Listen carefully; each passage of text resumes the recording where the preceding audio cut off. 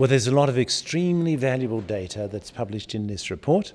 Uh, let me deal with uh, only three general tendencies amongst the richness of, uh, uh of the detail that, uh, uh, that is contained in the report.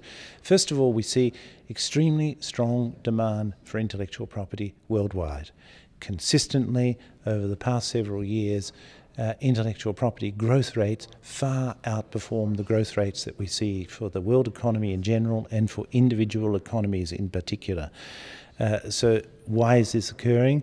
Well, obviously it's an expression of the knowledge economy. It's ex an expression of the fact that knowledge is a much more important component in all forms of production uh, and distribution than used to be the case. Secondly, we see an extraordinary performance once again uh, this is something we've noticed over the past uh, five years in particular, extraordinary performance on the part of China. China experienced double digit growth rates in patents, trademarks, utility models, and industrial designs. It has the largest office in the world now in terms of the receipt of numbers of applications for patents, trademarks, industrial designs. And we see that Chinese residents residents of China for the first time filed the greatest number of patent applications all around the world. So the first statistic I gave you, uh, which is being the biggest office, that concerns where applications are filed. The second statistic, Chinese residents, that concerns who's filing the applications.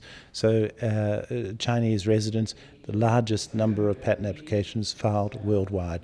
Thirdly, I think that we can say now that we see a trend towards a much greater uh, participation in and use of the intellectual property system on the part of the middle income countries.